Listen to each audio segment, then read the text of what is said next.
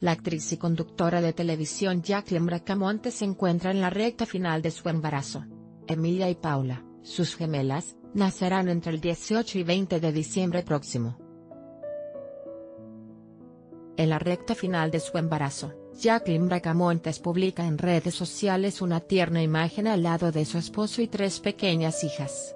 Según reporten distintos portales de noticias, tras el nacimiento de sus gemelas, Jackie se someterá a una operación, pues este será su último embarazo. Llegó diciembre. Mi mes favorito del año.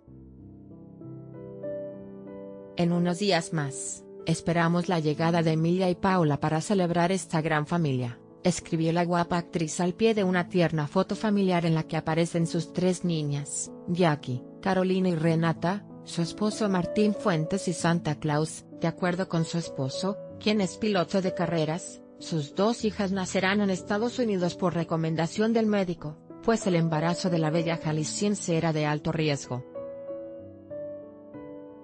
Emilia y Paula serán las últimas integrantes de la familia conformada por Jacqueline Bracamontes y Martín Fuentes, quienes se casaron en octubre de 2011 en Guadalajara. Jacqueline dijo a la revista Caras, me voy a operar y quiero que él se opere. En esta nota,